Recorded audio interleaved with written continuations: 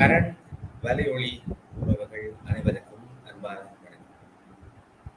உலக வலம் episode two பாகம் இரண்டில் இந்த காணொலியிலே சந்திப்பதிலே மகிழ்ச்சி அடையும் உலகத்தை பலம் வரைக்க பரம்ஜியோட பலம் பெறவங்க மட்டும்தான் ஜோதிச்சிருக்கும் ஆனால் பரம்ஜி கன விஷயங்களை இந்த உலக வளத்துக்குள் சேர்க்க உலக வளம் என்றால் ஒரு நாட்டோட மட்டும் நிற்கக்கூடாது. உலகம் முழுக்க என்ன நடக்குது என்றதை எடுத்துக்கொண்டு வந்து பேசுவோம் என்று அந்த சேகரிப்புக்காக அவர் தயாராகி கொண்டிருந்த நேரத்தில் இது உலக பலம் என்ற இந்த பகுதி எபிசோட் டூக்கு போயிடுச்சு. எபிசோட் ஒன் என்னுடைய ஊடக கால நண்பர் கிருஷ்ணாவோட செஞ்சிருக்கேன் அதில் நீங்கள் நிறைய பார்த்துருப்பீங்கள் பார்த்துருப்பீங்க காணொலிகளை பார்த்து விட்டு போவது மட்டுமில்லாமல் உங்களுடைய கருத்துக்களை எங்களோடு பகிர்ந்து கொள்கின்ற போது நாங்கள் மென்மேலும் அந்த காணொலிகளினுடைய கண்டென்ட்ஸ் அல்லது காணொலிகளில் நாங்கள் கலந்துரையாடுகின்ற விஷயங்கள் தொடர்பாக இன்னும் எங்களை மேம்படுத்தக்கூடியதாக இருக்கும் என்பதை ஆரம்பத்திலே தெரிவித்துக் கொண்டு பரம்ஜியை வரவேற்கலாம். வணக்கம் பரம்ஜி. வணக்கம். உலக வளம் சேர்ந்து போகணும்னு சொல்லி முகுந்தன் கேட்டிருந்தீர்கள். அதற்கான ஆயத்தங்கள் செய்து கொண்டிருக்கும் பொழுது நாங்கள் உலகத்தை வலம் வருகின்றோமோ இல்லையோ உலகம் எங்களை சுற்றியும் வந்து கொண்டிருக்கின்றது. மூந்தன் உடல்நிலை மனநிலை அப்படி பல விடயங்களால் தள்ளி தள்ளி இன்று வந்திருக்கின்றோம் உலகம் பலம் பெற அதற்கு முதல் மிக மகிழ்ச்சியாக இருந்தது நீங்கள் கிருஷ்ணாவுடன் உங்கள் நண்பன் டான் நண்பன் கிருஷ்ணாவுடன் ஒரு உலகம் பலம் செய்திருந்தீர்கள். மகிழ்ச்சி அவரையும் பார்த்தது சந்தோஷம். நாங்கள் கிருஷ்ணாவும் ஒன்றுதானே ஆனால் அவர் எனக்கு பிறகு உலகத்துக்கு வந்தவர். டான் தொலைக்காட்சியிலே என்னுடைய பணி பிறகு அவர் என்னுடைய பணியை தொடர்ந்து செய்தவர். ஆனால் கிட்டத்தட்ட என்னை விட சிறப்பாக செய்தவர் என்று கூட தன்னடக்கமாக சொல்லலாம். உலக வழக்கு நாங்கள் உண்மையிலே உலக கிரிக்கெட்டுடன் ஆரம்பிக்கிறது தான் எங்களோட உங்களுடைய விருப்பத்தின்படிய முதல் நோக்கமா இருந்தது. இன்றைக்கு மூன்று நான்கு நாட்கள் கிரிக்கெட் மிக பிரகாசமாக இந்தியாவில் பட்டொளி வீசி பறந்து கொண்டிருக்கின்றது. என் போன்ற கிரிக்கெட் ரசிகர்களுக்கு பொழுதை போக்குவதற்கு இன்னும் சந்தோஷமான ஒரு விடயம். அதில் எங்களுக்கு விருப்பமான நாடுகள். எனக்கு பாடசாலை காலங்களில் கிரிக்கெட் விளையாடி மின்பந்து தான் சாஃப்ட்பாலில் தான் விளையாடின அனுபவம் இருக்கின்றது. ஆனால் இங்கிலாந்தில் படித்துக் கொண்டிருந்த காலங்களில் இந்த கோக் போல்னு சொல்லி அந்த கிரிக்கெட் போல்ல விளையாடின காலம் தொடக்கம் அது ஒரு பைத்தியம். அதை விட முக்கியமாக எண்பத்தி மூன்றாம் ஆண்டு முதல் முதல் இந்தியா அந்த கபில் தேவின் தலைமையில் வென்ற பொழுது நான் அப்பொழுது அங்கு பார்த்து கொண்டிருந்தேன். அனுபவித்த அந்த வெற்றியை எல்லாம் அனுபவித்தோம். அந்த வகையில் இப்பொழுது இந்தியாவில் நடந்து கொண்டிருக்கின்றது. இந்தியா இன்று ஆஸ்திரேலியாவின் நடந்த அந்த போட்டியிலே ஆறு விக்கெட்டுகளால் வென்றிருக்கின்றார்கள். இதை கேட்டுக்கொண்டிருக்கும் பொழுது மூந்தன் ஒரு சிறந்த ஒரு பந்து வீச்சாளராக இருந்திருப்பது போல மனதுக்கு எண்ணம் வருகின்றது. நீங்கள் கிரிக்கெட் விளையாடுகிறது உண்டா பாடசாலை எங்களுடைய பேக் ஸ்கூல் இப்ப வருகிற அக்டோபர் பதினாலாம் தேதி மங்களக்குடி இந்து கல்லூரியில். நாங்கள் மீண்டும் பாடசாலைக்கு போகலாம் என்ற அந்த அந்த ரம்யமான அனுபவத்தை திருப்பி அனுபவிக்க போகிறோம். இப்ப அந்த சந்தோஷம் நீங்கள் கேட்ட உடனே வந்தது. பாடசாலை காலத்துல எனக்கு விளையாட்டுக்கு வெகு தூரம். நான் அந்த எக்ஸ்ட்ரா கரிக்குலர் ஆக்டிவிட்டீஸ்ல ஸ்போர்ட்ஸை விட்டுட்டு இந்த டிபேட் ஸ்பீச் கவிதை அப்படி அந்த அதுக்குள்ள இதாடி கொண்டது. என்னுடைய உடல்வாக கேட்டு ஆனா நான் அந்த ட்ரிபிள் ஜம் அப்படி செஞ்சிருக்கிறேன். கிரிக்கெட் மேட்ச் நடக்கிற நேரத்திலே எனக்கு வாய்ப்பு தந்தா போய் அதில் போய் ஆடிட்டு வந்திருக்கிறேன். ஆனால் அதை நீங்க சொல்ல வேண்டிய பிரம்மாண்டமான அந்த திறன்களை வெளிப்படுத்தக்கூடிய அளவுக்கு அத்தகைய ஸ்போர்ட்ஸ்ல எனக்கு அவ்வளவு திறமை ஆனால் நிச்சயமா உங்கள் பள்ளிக்கூடத்தில் இருந்தபடியால் அந்த அதுவும் கிரிக்கெட் விளையாடி இருக்கிற இருக்கிறபடியால் நிச்சயமா உங்களுக்கு அதில் ஆர்வம் இருக்கும். ஆமா அது பாடசாலை காலத்துக்கு பிறகு நண்பரோட சேர்ந்து பல இடங்களில் விளையாடி இருக்கிறோம். ஆனால் என்னுடைய கண் விளையாட்டை விட இந்தியாவில தான் இருந்தது. புறக்கிருத்தியங்கள் எக்ஸ்ட்ரா ஆனால் இலங்கை விளையாடுகின்றது இந்தியா மற்ற உலக நாடுகள். ஆனால் ஒரு காலகட்டத்திற்கு மேல் எங்களுக்கு சில காலத்துக்கு இலங்கை வெல்ல வேண்டும் அல்லது இந்தியா வெல்ல வேண்டும் அல்லது நான் இங்கிலாந்து இங்கிலாந்தில் வாழ்ந்தபடியால் இங்- இங்- இங்கிலாந்து வெல்ல வேண்டும் என்று சொல்லி எங்களுக்கு ஒரு ஒவ்வொரு நாட்டு அணிகளும் வெளியில் செல்ல செல்ல இன்னொரு அணியில் ஆர்வம் வரும். ஆனால் அதிக காலம் ரசிகராக இருந்திருக்கிறீர்கள்? எந்த அணிக்கு அதிக காலம் ரசிகராக இருந்திருக்கிறீர்கள்? ஆமாம். ஆனால் இப்பொழுது மூந்தன் அந்த கிரிக்கெட்டை ரசிக்க யாராக இருந்தால் என்ன? அது ஆஸ்திரேலியா விளையாடினால் என்ன? இந்தியா விளையாடினால் என்ன? ஸ்ரீலங்கா விளையாடினால் என்ன? அந்த விளையாட்டை ரசிக்கக்கூடிய ஒரு மனப்பக்குவத்தை எய்தியாச்சு அதனால் உண்மையின்படி சென்ற தடவை இங்கிலாந்தில் நடந்தது. உம், நான் நியூசிலாந்து வெல்ல வேண்டும் என்று சொல்லித்தான் நான் எதிர்பார்த்திருந்தேன் ஏனெனில் அவர்கள் அந்த சாம்பியனை வென்ற வென்ற மாதிரி வெ- வெல்லவில்லை. ஆனால் இங்கிலாந்து வந்தது இந்த முறையும் நியூசிலாந்து அல்லது சவுத் ஆப்பிரிக்கா வெல்ல வேண்டும் என்று சொல்லித்தான் நான் விரும்புகிறேன். ஏன்னா நல்ல விளையாட்டு வீரர்கள் இருக்கிறார்கள் மூந்தன். எந்த நேரத்தில் என்ன நடக்கும் என்று சொல்லி தெரியாது. சில விளையாட்டு வீரர்கள் எதிர்பார்க்காத விதமாக அது காலங்கள் நேரங்களாகவும் இருக்கலாம். வியாழன் சனி என்று உங்களுக்கு உங்களுக்கு தெரியும் தானே? எங்கட டீம் இலங்கை அணியை பற்றி சும்மா அன்றைக்கு நண்பரோட காய்ஞ்சா போது சொன்னாங்க இல்ல முன்னாடினா எங்க அணியை பற்றி சொல்ல முடியாது. எங்க அணிக்கு எப்ப சாமி வந்து ஆடுவாங்கன்னு சொல்ல முடியாதுன்னு சொல்லி. அப்ப அது கிரிக்கெட் திறமை வியூகம் எல்லாவற்றுக்கும் அப்பால் அன்றைய கலைச்சூழல் அதை விட அதிர்ஷ்டம் எல்லாம் இருக்கு.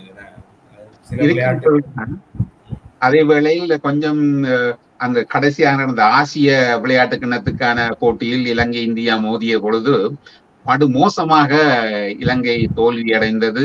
பலரால் ஏற்றுக்கொள்ளப்படவில்லை. பலவித கதைகளும் உங்களுக்கு தெரியும் ஊடகங்களில் பறந்து இருந்தன இதுதான் காரணம் அதுதான் காரணம் முறை ஆசிய விளையாட்டிலே ஆசிய கிரிக்கெட்டுக்கு எங்களோட மண்ணின் மைந்தன் வியாஸ்காந்த் தேசிய அணியிலே இட இடம் பிடித்திருக்கிறார் என்றது ஒரு ஓரளவு திருப்தியான மகிழ்ச்சியானது. அதுவும் நான் நினைக்கிறேன் முதலாவது அவர் கலந்து கொண்ட போட்டியிலே ஒரு பெருமதியான விக்கெட் ஒன்றை பெற்றிருக்கிறார். மெதுவாகத்தான் அவர் சரித்திரத்தில் இடம்பெற போற போகின்றார் வியாஸ்கான் அது ஒரு மகிழ்ச்சியான அதான் முக்கியமான விஷயம். அந்த சரித்திரத்தில் இடம்பெற போகின்ற இடம்பெறுகின்ற அந்த வாய்ப்பை வழங்கினவரை பொதுவாக நாங்கள் மறந்து விடுகிறோம். அல்லது அவரை பற்றி அதிகமாக பேசுறதில்லை. இது நான் நினைக்கிறேன் உங்களுக்கு தெரிந்திருக்கும். அவர் நீண்ட காலம் ஐக்கிய ராஜ்யத்திலே வசித்து பிறகு தன்னுடைய சொந்த நாட்டுக்கு வந்தவர் ஹரி வாகீசன் என்று சொல்லி. அவர் லைக்காவினுடைய இங்க ஜப்னா கிங்ஸ் அதுக்கு முதல் ஸ்டாலியன்ஸ் ஜப்னா கிங்ஸுடைய தொடர் மூன்று வெற்றிகளுக்கு காரணமானவர் படைப்பாளராக இருந்தார். அதை விட பிறகு லைக்காவினுடைய தமிழ்நாட்டில் இருக்கின்ற கோவை அணிக்கு படைப்பாளராக தலைமை தாங்கி அந்த அணியையும் வெற்றி பெற செய்தவர். அப்ப ஹரி வாகீசன் அவர்களுடைய ஒரு கண்டுபிடிப்பு தான் வியாசன் வியாஸ்கான். அவரை அவர் விளையாட்டுத்தனமாக இருந்த பிள்ளையை கொஞ்சம் கட்டுப்படுத்தி பொறுப்புணர்வை கொடுத்து இன்றைக்கு அவருடைய இந்த வீச்சுக்கு கொண்டு வந்ததில் மிக முக்கியமான பொறுப்பு திரு ஹரி வாகீசன் அவரிடம் இருக்கிறது என்பதை நான் நினைவுபடுத்துகிறேன் அது மட்டுமில்லை வியாஸ்கான் மட்டுமில்லை பல வீரர்களை தமிழ் எங்களுடைய மண்ணின் வீரர்களை தேசிய அணிக்கு அருகில் அஹ், கொண்டு சென்றவர் தேசிய சர்வதேச களங்களுக்கு கொண்டு போன ஒரு பெருமை அவருக்கு இருக்கிறது. ஆனால் நான் இவ்வளவு காலமும் அஹ், அஹ், இளமையாக இருக்கும் பொழுது இதுதான் அவருக்கு சந்தர்ப்பம் அதுதான் காரணம் இது என்றெல்லாம் பார்ப்பதுண்டு. ஆனால் இப்பொழுது மனம் நன்றாக தெளிந்து விட்டது. யார் யாருக்கு என்ன கிடைக்க இருக்கின்றதோ அது கிடைக்கும். அதை அரசியலாக்கி அதன் மூலம் லாபம் அடைகிறதுக்கென்றே சில சில பேர் தொழிலாக செய்து கொண்டிருக்கின்றார்கள். அவர்கள் இப்படியான பிரச்சனையான சர்ச்சனையா சர்ச்சையான விடயங்களை கிளறிவிட்டு மக்களை கொந்தளிக்க அஹ், செய்வதன் மூலம் லாபம் அடைபவரும் இருக்கின்றார்கள். அதனால் ஏதோ எல்லாம் நல்ல நல்லபடியாக நடக்கட்டும். அஹ், அமைதியும் சமாதானமும் இந்த மண்ணில் நிலவ வேண்டும் என்று சொன்னால் அது நிலவாது போல் தெரிகின்றது. உங்களுக்கு தெரியும் இப்பொழுது சொல்ல வந்து நான். பரம்பி நாங்கள் இந்த உலகக்கண்ட கிரிக்கெட்டை ரசிக்க முடியாத அளவுக்கு உலகத்திலே பல இடங்களிலே பல்வேறு எரிமலைகள் வெடித்து சிதறிக் கொண்டிருக்கிறது. உண்மையா எரி எரிமலை வெடிக்கின்ற எரிமலைகள் லாவா குழம்புகளை கக்குகின்ற ஆஹ், நிகழ்வுகள் நடந்து கொண்டிருக்கு. அதை விட நான் கூடகமாக சொல்லுகின்ற வகையிலே உலக நாடுகளிலே பல குழப்பங்கள் இப்ப அண்மையிலே ஹமாஸ் தீவிரவாதிகளுடைய அகோர தாக்குதலை இஸ்ரேல் சந்தித்திருக்கிறது.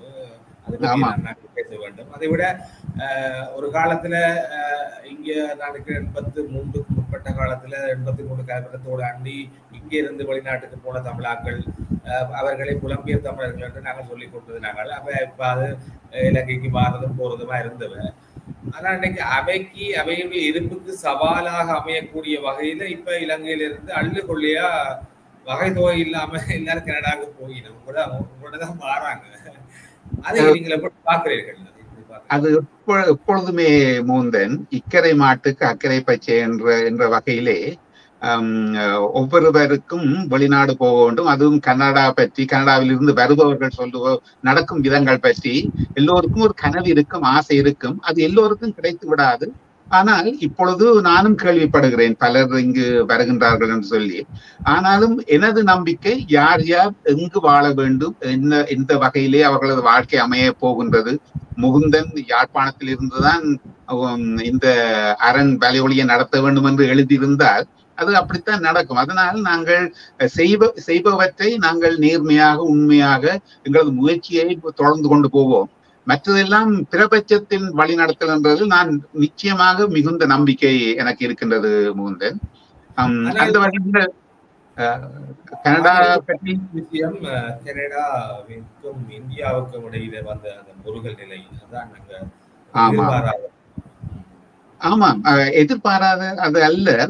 நான் முதல் பதிவில் கூட கொஞ்சம் கொஞ்சம் விளக்கமா போட்டிருந்தேன். அது வந்து அந்த இவர் ஜஸ்டின் ட்ரூடோ வந்து மிக மோசமான அரசியல் நிலைமைக்கு தள்ளப்பட்டு விட்டார். அவர் தன்னை பாதுகாத்துக் கொள்ள வேண்டும் என்பதற்காக அந்த சீக்கியர்களது அந்த வாக்குக்காண்டி அதை அப்படி ஒரு அறிவித்தலை கொடுத்திருக்கின்றார். ஆனால் அதில் இந்தியா பங்களித்திருக்குமா? அதுக்கு இந்தியாவே தான் முக்கிய காரணமா என்று சொல்வதற்கு போதிய ஆதாரம் அவரிடம் இல்லை என்ற என்றதுதான் உண்மை. அல்லாவிடில் இதுவரைக்கும் அந்த ஆதாரங்களை கொண்டு அமெரிக்காவோடு இருப்பார் ஐக்கிய நாடுகள் சபைக்கு ஓடி இருப்பார் இவர் தான் செய்தார் அவர் தான் செய்தார். இந்தியா இன்னென்னு ஆனால் இந்தியாவை பொறுத்தவரை செய்திருக்குமா என்று சொல்லி ஒரு கேள்வி இருக்கின்றது மூந்தன். நான் இப்ப என்னை பொறுத்த வரையிலே நான் முதல் பதவியிலே சொன்ன மாதிரி தான் எனக்கு வந்து நான் அரசியல் நாங்கள் விருப்பம் ஆர்வம் இல்லை காரணம் என்னென்றால் அது வந்து கூடுதலாக அந்த அது ஒரு பெருந்தலைவர் காமராஜர் எனக்கு எனது எண்ணங்கள் பெறுகின்ற உண்மையான ஒழுக்கமான ஒரு அரசியல்வாதி பெருந்தலைவர் காமராஜர். அவரே சாக்கடை என்று சொல்லும் பொழுது உங்களுக்கு தெரியும் எப்படியானவர்கள் இருந்தார்கள் என்று சொல்லி. இந்தியாவில் பெருந்தலைவர் காமராஜர் போன்ற நல்ல அரசியல் தலைவர்கள் பெறுவது பெறவில்லை என்ற காரணத்துக்கு என்ன காரணமாக இருக்கும் என்று யோசிக்கும் பொழுது முகுந்தன் ஆங்கிலேயர்களது காலத்தில் அவர்கள் ஆழ்ந்து கொண்டிருந்த காலத்தில் விடுதலை வேண்டும் என்று சொல்லி எல்லோரும் ராஜாஜி காமராஜர் மகாத்மா காந்தி நான் அவரை விட்டு விட்டேன் அப்படி மகாத்மா காந்தி வந்து இன்று கூட இந்தியாவில் பேசு இந்திய நண்பர்களுடன் பேசும்போது அவர்கள் யார் சொன்னது மகாத்மா காந்தி விடுதலை பெற்று தந்தது என்று சொல்லி சுபாஷ் சந்திரபோஸ் தான் காரணம் என்று சொல்லுவார்கள். ஆனால் நான் ஆராய்ந்த அளவிலே இங்கிலாந்து இந்தியாவுடன் போ இந்தியாவில் இருந்து அந்த புரட்சியாளர்களுடன் போரிடுவது சாத்தியமில்லை. வெற்றி அது அது மோசமான அழிவு உண்டாகும் என்று சொல்லி அவர்கள் எண்ணியதன் பலனாக சாத்வீக முறையிலே அணுகி கொண்டிருந்த மகாத்மா காந்தியை அணுகி அவரிடம் கொடுக்கிறார்கள். ஆனால் அதற்கு அழுத்தம் கொடுத்தது சுபாஷ் சந்திர போஸ் தான். என்றதுதான் எனது நம்பிக்கை. சொல்லுகின்ற போது நான் யோசிக்கிறேன். அது எந்த அளவுக்கு அது எனக்கு பாதுகாப்பு தெரியவில்லை. அது அதிலே ஒரு உண்மை இருக்கிறது. என்றால் தனிய அகிம்சை வழியிலான போராட்டத்துக்கு மட்டும் பயந்து பிரிட்டிஷ் பின்வாங்கி இருக்கும் என்பதல்ல. அங்கே சுபாஷ் சந்திர போஸனுடைய இன்னும் ஒரு கரம் அதே போலதான் இங்கேயும் பாத்திமனுடைய தனி முயற்சி இருந்தபடியேத்தான் பாத்திமன் தன்னுடைய உயிரை நீக்க வேண்டிய அதற்கு நிகராக ஒத்துப்போகக்கூடிய அளவில் இன்னொரு வகையில் ஒரு அழுத்தம் வந்திருந்தால் இந்தியா தன்னுடைய பழைய வரலாறை உணர்ந்து ஏதாவது ஏற்பட்டிருக்கும் என்று நீங்கள் சொல்லுகின்ற போது மின்னல் போல வந்து ஒரு சரி நாங்கள் அங்காலே நகர்லாம் ஆனால் பூந்தன் நான் ஒன்றை நான் சொல்லுவேன் அது உங்களுக்கு என்ன பரஞ்சி முட்டாள் மாதிரி பேசுகிறார் நீங்கள் எண்ணக்கூடும் பார்த்து கொண்டிருப்பவர்கள் கூட எண்ணக்கூடும் எனது நம்பிக்கை இந்த உலகத்தில் வாழும் மனிதர்கள் எல்லோருக்குமே சொல்லுவதுண்டு நீ சொர்க்கத்துக்கு போய் போக விருப்பமா நரகத்துக்கு போக விருப்பமா நீ சொர்க்கத்துக்கு போக விருப்பமாக இருந்தால் நீ நல்ல நல்லவை செய்ய வேண்டும். நரகத்துக்கு போவதாக இருந்தால் நீ செய்ய கொடுங்கோலான வி- விடயங்கள் செய்தால் போவா என்று சொல்வார்கள். அது என்ன ஏனெனில் ஆஹ் மக்களை நல்வழிப்படுத்துவதற்காகத்தான் அப்படி சொல்லுகின்றார்கள். ஆனால் இந்து மதம் மாத்திரமில்லை. நான் நான் சார்ந்த இந்து மதம் மாத்திரமல்ல. பல மதங்கள் சொல்லுகின்றன.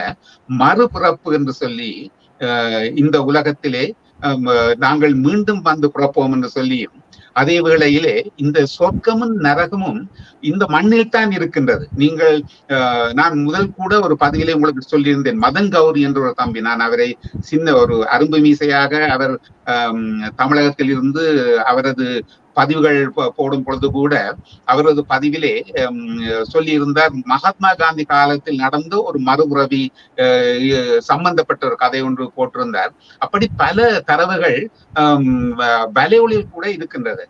அ- அது என்னத்தை சொல்லுகின்றது என்றால் மரபுறவி ஒன்று இருக்கின்றது. இந்த வாழ்க்கையில் இந்த வாழ்க்கையில் வெற்றி அடைந்து உதாரணமாக ரஜினிகாந்த் சூப்பர் அங்கும் போக வேண்டித்தான் இருந்தது சினிமா பக்கமும் போகத்தான் இருக்கின்றது அவர் இன்று எங்கேயோ பிறந்து தமிழ் மொழியும் அல்ல- இல்லாத ஒருத்தர் தமிழ்நாட்டில் அத்தனை ஆயிரம் அத்தனை கோடி மக்களின் அன்புக்கு ஒரு பாத்திரமாக அவர் இருக்கின்றார் என்ற காரண காரணம் என்னவெனில் அவர் அவருக்கு அவருக்கு அவருக்கே தெரியாது ஏன் தமிழ் மக்கள் தலை வைத்து கொண்டாடுகின்றார்கள் என்றால் அதைக்கு அதற்கு ஒரு பதில் தேடுவோமாக இருந்தால் நிச்சயமாக முற்பிறப்பில் ரஜினிகாந்த் அவர்கள் நல்ல செயல்கள் செய்து அதை அந்த புண்ணியத்தை தேடிக்கொண்டு கொண்டிருக்கின்றார்.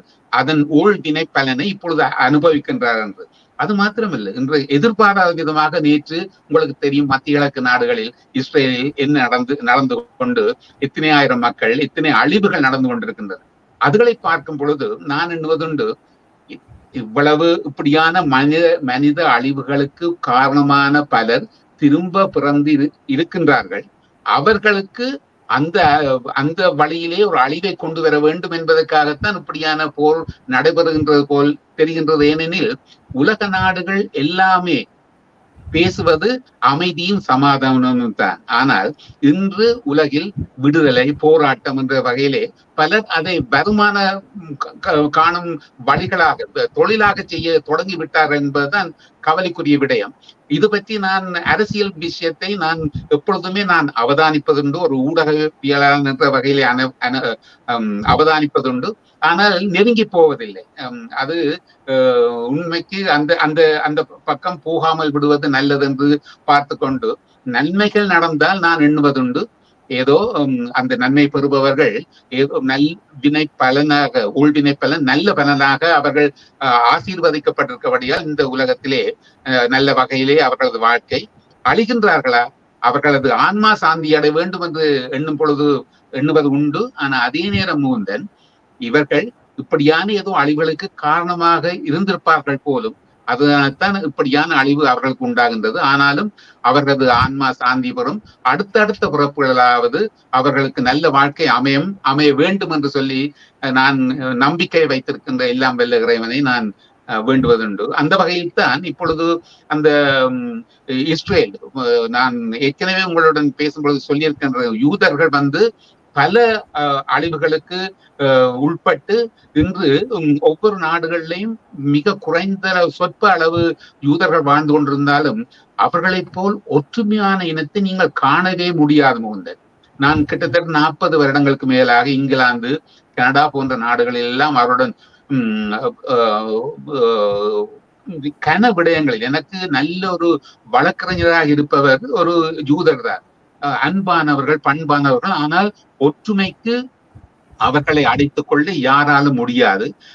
அப்படியான ஒரு ஒற்றுமை இல்லாதபடியால் தான் எங்கள் இனம் எங்களை நாங்களே அழைத்து மற்ற இராணுவத்தினரும் பந்தங்களை அழிப்பதற்கு காரணமாகிவிட்டது என்பதுதான் கவலைக்குரிய விடயம் மூந்தன். ஆனாலும் என்ன செய்வது? நான் நான் மனதுக்கு ஒரு ஏன் இப்படி நடக்குது? ஏன் இப்படி மனித உயிர்கள் அழிகின்றன? முக்கியமாக எனது அலுவலகத்தில் பின்னிருந்து பார்த்து கொண்டிருக்கும் பெரியவர் மகாத்மா காந்தி அவர்கள் அவரும் இன உயிர் அழியக்கூடாது என்பதற்காக சாத்விக போராடி அந்த வெற்றியை பெற்று தந்தார். இன்று அதை பற்றி யாருமே அக்கறைப்படுவதில்லை என்று கவலைப்படுவதுண்டு. ஆனாலும் என்ன செய்யலாம் மூந்தன் பிரபஞ்சம் என்ன செய்ய வேண்டுமோ அது நடந்தவை நல்லவையாகவே நடந்து நடக்கும். எல்லாம் நல்லபடியாக நடக்கும் என்ற ஒரு நம்பிக்கையுடன் ஓடிக்கொண்டிருக்க வேண்டியதான் வந்து நீங்கள் அது கர்மாவை பற்றி சொல்லுகின்ற போது இப்ப பொதுவாக உங்களை வழிபடுத்துகின்ற பெற்றோர்களாகட்டும் பெரியவர்களாகட்டும் போது சொல்ற விஷயம் இயந்த வரைக்கும் நல்ல பிள்ளைகளா இருக்கும் நல்லவர்களாக இருக்கும் மற்றவர்களுக்கு உதவி செய்யாட்டியும் உபத்திரம் செய்யாமல் இருக்கும் ஆனால் அது சிறைவாசம் என்றது சிறைக்கு போக வேண்டிய தன்மைகளை இயன்ற அளவுக்கு தவிர்த்து வாழுவதுதான் புத்தியான ஒரு வாழ்க்கை என்றுதான் எல்லோருக்கும் ஒரு போதனை கண்டிப்பாக ஒவ்வொருத்தருக்கும் இருக்கும். அதுக்கு இனம் மதம் மொழிக்கு அப்பாற்பட்டு.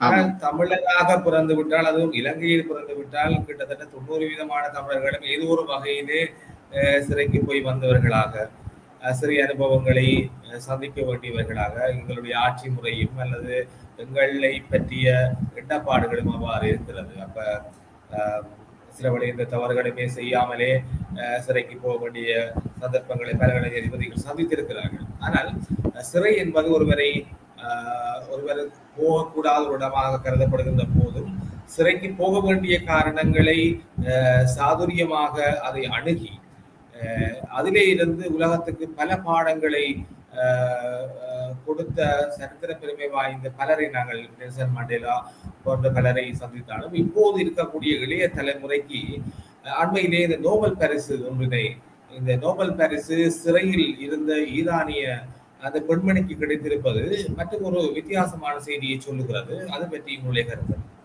அதான் நீங்கள் சரியாக அந்த நான் எண்ணிக்கொண்டிருந்த விடயத்துக்கு வந்து விட்டீர்கள். நர்கீஸ் மொஹமாதி என்று சொல்லி அந்த பெண்மணி பெண்களுக்காக பெண்களின் உரிமைக்காக அவர்களது அவர்களது ஒடுக்குமுறையிலிருந்து பாதுகாத்து கொள்ளப்பட வேண்டும் என்று போராடி கொண்டிருக்கின்ற அந்த பெண்மணியை அந்த ஈரானிய அரசு சிறையில் அடைத்து வைத்திருக்கின்றது. அதை அவரது முயற்சியை அவரது உழைப்பை போற்றி அமைதிக்கான நோபல் பரிசை கொடுத்திருக்கின்றார்கள். ஆனாலும்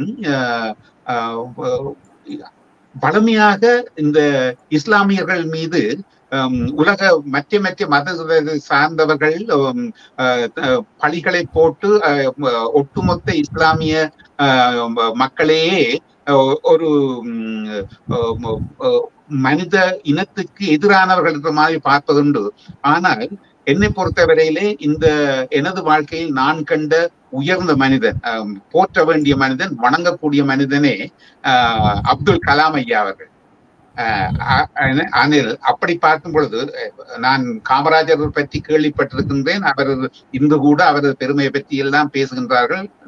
ஆனால் நான் வாழ்க்கையிலே நான் பெருமைப்பட்டு மகிழ்ச்சி மகிழ்வதற்கு காரணம் நல்லொரு மனிதனை வாழ்ந்த காலத்தில் வாழ்ந்து அவரை நேர சந்திக்க முடியாவிட்டாலும் அப்படி மனிதன் எங்கள் மத்தியில் வாழ்ந்தார் அவர் தமிழன். அவர் அப்துல் கலாம் என்று சொல்லும் பொழுது அவர் இந்த மதத்தை சார்ந்தவர். மதத்தில் ஒரு ஒரு பிழையும் இல்லை. மதம் நல்ல மதம் தான் அப்படிப்பட்ட ஒரு நல்ல மதம் தான் அப்படிப்பட்ட ஒரு பெரியவரை எங்களுக்கு தந்தது. நாங்கள் இன்றும் போட்டுகின்றோம் ஆனால் துரதிருஷ்டவசமாக அந்த மதத்தை வைத்து இனத்தை வைத்து மொழியை வைத்து அதை ஒரு வருமானமாக பார்ப்பவர்கள் இப்படியான நிலைமைகள் உலக மக்களை சித்திரவதைக்கெல்லாம் ஆளாக்கப்படுகின்றார்கள்.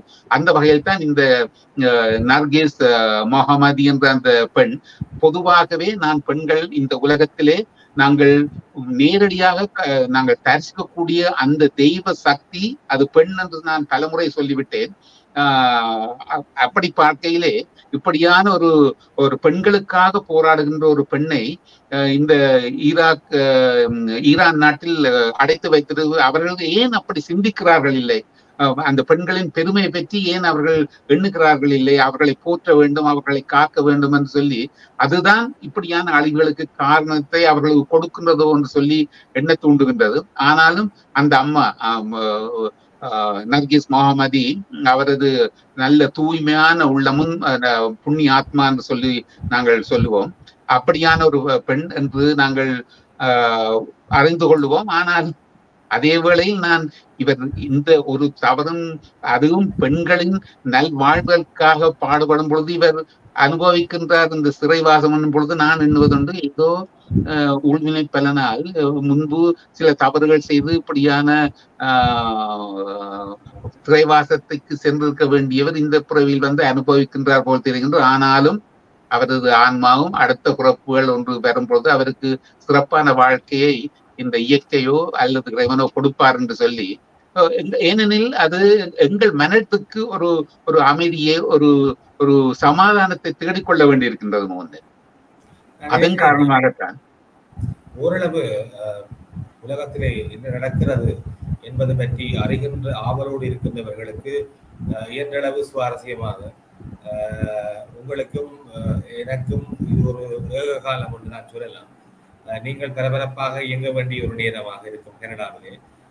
நாம் இந்த இதை நேர்காணலை இந்த காணொலியை தயாரிக்கின்ற பொழுது எனக்கு பரபரப்பெல்லாம் அடங்கி ஓய்வாக இருக்க வேண்டிய ஒரு நேரம். ஆனாலும் இந்த காணொளியை காலம் முழுவதும் பார்க்க போகின்றவர்களுக்கு இயன்ற வரை சுவாரஸ்யமாகவும் மிக சுருக்கமாகவும் நாங்கள் ஓரளவு தொட்டிருக்கிறோம் என்று நினைக்கிறோம். நாம் இந்த காணொளியை நிறைவு செய்வதற்கு முன்னால் இவரை பற்றி ஒரு சில வார்த்தைகள் பேசுவது பொருத்தமாக இருக்கும் என்று நான் நம்புகிறேன். ஏனென்றால் அவரது அவரது பெயர் மூந்தன் யார்ஸ்லாவ் கங்கா என்று சொல்லி என்ன என்ன நடந்தது என்றால் ஜெலன்ஸ்கி ஆஹ், வந்திருந்தார் தானே? ரஷ்யாவுக்கு எதிரான போரில் ஆஹ், ஆயுத உதவிகள் தேடுவதற்காக கனடா வந்திருந்த பொழுது பாராளுமன்றத்துக்கு ஜஸ்டின் ட்ரூடோ அவர்கள் இவரை அழைத்திருந்தார். இந்த யாஸ்லாவ் கங்- கங்கா என்று சொல்லி என்ன காரணத்துக்காக அழைத்திருந்தார் என்றால் இரண்டாவது உலக போரின் போது இவர் போர் போரிட்டு தங்கள் நாட்டுக்காக அஹ், உக்ரைனுக்காக பாடுபட்ட ஒருவர் அவருக்கு தொண்ணூறு வயதுக்கு மேல் அவரை நாங்கள் அவரது சேவையை பாராட்ட வேண்டும் என்று சொல்லி அந்த அவரை அங்கு அழைத்து வந்தவர் அந்தோனி ரோட்டா என்று சொல்லி அந்த அவை தலைவராக இருந்தவர் தான் இவரை சிறப்பான வழியை வழி சிறப்பிக்க வேண்டும் என்று சொல்லி ஜெலன்ஸ்கியை கொண்டு அவரை பாராட்டப்பட வேண்டியவர் என்று சொல்லித்தான் அழைத்து வந்தார்கள்.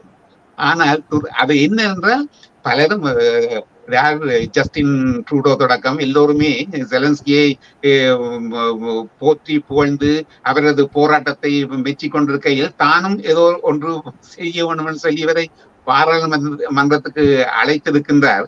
ஆனால் என்ன துரதிருஷ்டமான செய்தி என்ன என்றால் மூந்தன் இவர் வந்து ஹிட்லரின் அந்த ஹிட்லர் படையிலே ஒரு ஒரு பிரதிநிதியாக இருந்திருக்கின்றார். அவர் உங்களுக்கு தெரியும் ஹிட்லர் என்ன செய்தார்னு சொல்லி அவர் வந்து யூதர்களை அழித்தவர். அவர் அவருக்கு உதவியாக இருந்த ஒருவரை அவர் அவரது சரித்திரத்தை கூட ஆராய்ந்து பார்க்காமல் அந்த அஹ், தானும் ஏதோ ஒன்று அஹ், த- தனது ப- பங்குக்காக செய்ய வேண்டும் என்று சொல்லி இவரை அழைத்திருக்கின்றார். ஆஹ் அதன் காரணமாக அவர் அந்த பதவியை துறந்து வெளிநட வெளி வெளியே செல்ல வேண்டி வந்த ஏனெனில் உங்களுக்கு தெரியும் உலகம் முழுவதும் அஹ், மிகவும் குறைந்த அளவு யூதர்கள் இருந்தாலும் அவர்கள் அவர்கள் இன ஒற்றுமை அது மாத்திரமல்ல. பெரும் பெரியும் ஸ்தாபனங்கள் பொருளாதார துறையிலே மூந்தன் அவர்களது ஆட்சிதான் ஏனெனில் அவர்களது ஒற்றுமையால் அவ்வளவு க- சிறப்பாக அந்த சமூகத்தை கட்டி வைத்திருக்கின்றார்கள். அதன் காரணமாக ஒரு நன்மை நடந்தது. அந்த அந்தோனி ரோட்டா அவர் அதை பதவியை துறந்தாலும் கிரெக் பெர்குசன் என்று சொல்லி ஒருவர் புதிதாக அந்த பதவிக்கு வந்திருக்கின்றார். என்ன ஆச்சரியம் எனில் முதல் முறையாக கனேடிய சரித்திரத்திலே ஒரு கருப்பினத்தவர் அந்த பதவியை பெற்றிருக்கின்றார். அது ஒரு போற்றப்பட வேண்டிய விஷயம். ஆனாலும் ஏதோ அவர் ஒரு ஆர்வ கோளாறு செய்த தவறு அவரது பதவிக்கு ஒரு முற்றுப்புள்ளியை வைத்தாலும் அதன் வழியாக இன்னும் ஒரு ஒரு இனத்தை சார்ந்த அதுவும் கருப்பினத்தை சார்ந்தவர் அந்த பதவியை பெற்று சரித்திரத்திலே முக்கிய இடம் வகிக்கின்றார் என்று சொல்லலாம் எனவே இந்த இந்த உலக ஆஹ், இன்றைக்கு நாங்கள் ஒரு அரை மணி நேரத்தை அண்மிக்கிறோம் என்பதால் அரை மணிக்குள் ஓரளவு உலகத்தை வலம் வந்திருக்கிறோம். அது. முருகன் மயில் மேலேறி ஞானப்பழம் ஆஹ், பெற வேண்டும் என்பதற்காக உலகை வலம் வந்தது போல வேகமாக. அஹ், முடிந்தவரை நாங்கள் ஒரு மேலோட்டமாக இது ஒரு அறிமுக நிகழ்ச்சியாக கூட நாங்கள் எடுத்துக்கொள்ளலாம். எமது வலையொலி சந்தாக்காரர்களுக்கு இனி சந்தாக்காரர்களாக வரப்போகின்றவர்களுக்கு உங்களுடைய நண்பர்கள் என்னுடைய நண்பர்களுக்கு இது ஒரு அறிமுகமாக இருக்கலாம். இனி வரும் காலங்களில் நாங்கள் இன்னும் கொஞ்சம் டீப்பாக இன்னும் கொஞ்சம் ஆழமாக போய் குறிப்பிட்ட நாடுகளிலே இருக்கின்ற தமிழர் சார்ந்த எங்கள் நலன் சார்ந்த உலகியல் விடயங்களை அடுத்தடுத்த உலக வளம் நிகழ்ச்சிகளிலே பெறலாம் நல்ல ஆரம்பம் நல்ல ஆரம்பம். நீங்கள் எப்படி ஒன்று ஆரம்பிக்க வேண்டும்? பல இடங்களிலும் இருந்து நல்ல செய்திகள் கொண்டு வர வேண்டும் என்று கேட்டிருந்தீர்கள். ஆனால் அதை ஆரம்பிக்க முதல் உங்களுக்கு உங்கள் உடல் நலம் ஆரணியின் உடல் நலம் முக்கியம். அதன் காரணமாக ஆனாலும் எனக்கு சந்தோஷம். முதல் உலக பலமாக கிருஷ்ணாவுடன் நீங்கள் செய்தது. ஏனெனில் கிருஷ்ணாவை இங்கிருந்து அங்கு வரும்பொழுது அவரை தான் தொலைக்காட்சியில் பார்த்தது உங்களுக்கு பிறகு. நல்லது மூந்தன் இதுவரை நேரம் பொறுமையாக ஆஹ் இந்த நிகழ்ச்சியை பார்த்து கொண்டிருக்க பார்த்து கொண்டிருப்பவர்களுக்கு நன்றியை சொல்லி இன்னும் ஒரு நிகழ்ச்சியிலே நாங்கள் சந்திப்போம். இடையில் பரஞ்சி பார்வையில் தனிப்பட்ட வகையில் எதுவும் செய்யக்கூடியதா இருந்தாலும் செய்யலாம் மூந்தன் இன்னும் ஒரு அஹ், என்னிடம் நேரடியாக சொல்லியிருக்கிறார்கள். உங்களுடைய அந்த சினிமா விமர்சனங்கள் அதை விட சில நாவல் தொடர்பான விஷயங்கள் சில சமூக அன்றாட பிரச்சனைகள் தொடர்பான உங்களுடைய அந்த எழுத்துக்களை அப்படியே அஹ், உங்களுடைய பரஞ்சி பார்வையிலும் அத்தகைய பார்வைகளையும் கொண்டு வந்தால் இன்னும் கொஞ்சம் சுவாரஸ்யமாக இருக்கும். வாசிப்பதை விட பரம்பி எங்கள் வலை ஒலிக்கு வந்து அதை பற்றி சொல்லுகின்ற போது சிலாகித்துக் கொள்ளலாம் என்று சொல்லியிருக்கிறார்கள். அவர்கள் சார்பாக அந்த செய்தியை நான் உங்களுக்கு பகிர்ந்திருக்கிறேன். நன்றி பரம்பி இந்த சந்திப்புக்காக வேண்டும் நாங்கள் மற்றொரு நிகழ்ச்சியில் சந்திக்கலாம். இந்த காணொலியை அஹ், பார்த்துக் கொண்டிருக்கின்றவர்கள் இனி பார்க்க போகிறவர்கள் எல்லோருக்கும் இந்த நன்றியும் நல்வாழ்த்துக்களையும் தெரிவிக்கிறோம். அன்போடு இருங்கள் அமைதியாக இருங்கள். பரம்பி ஆரம்பத்திலே சொன்னது போல பிரபஞ்சத்தின் மீது நம்பிக்கை கொள்ளுங்கள். நடப்பது நடக்கும் அஹ், என்பதை அஹ், மட்டும் தெளிந்து உங்களுடைய வாழ்க்கையில் நீங்கள் தொடர்ந்து பயணியுங்கள். எங்களுக்கு கண்டு ஒரு காலம் இருக்கிறது அந்த காலத்தை தாண்டி எங்களால் இருக்கவே முடியாது. என்னதான் விஞ்ஞானம் வளர்ந்தாலும். அப்ப அது அது அவ்வளவுதான் வாழ்க்கை. அந்த அந்த வாழ்க்கைக்குள்ளே நாங்கள் முரண்பாடுகள் இல்லாமல் சண்டை சச்சரவுகள் இல்லாமல் எல்லோருக்கும் ஏதோ ஒரு வகையில நல்லது செய்யக்கூடிய அந்த வாய்ப்பு கிடைக்காட்டி மற்றவர்களுக்கு உபத்திரமும் செய்யாத மற்றவர்களுக்கு தீமை செய்யாத ஒரு வாழ்க்கையை நாங்கள் வாழ்ந்து முடிக்க வேண்டும் என்பதை உங்களுக்கு ஞாபகப்படுத்திக் கொண்டு அஹ், உங்களுக்கு விடைபெறுகிறோம். எங்களுடைய காணொலிகளை பாருங்கள் பார்த்து அது தொடர்பாக உங்களுடைய கருத்துக்களை தயவு செய்து எழுதுங்கள். என்றால் அதுதான் இந்த நிகழ்ச்சிகளை மேம்படுத்துவதற்கு உதவியாக இருக்கும் என்று தெரிவித்துக் கொண்டு விடைபெறுகிறோம். மீண்டும் மற்றொரு காலையில் சந்திக்கலாம். வணக்கம்.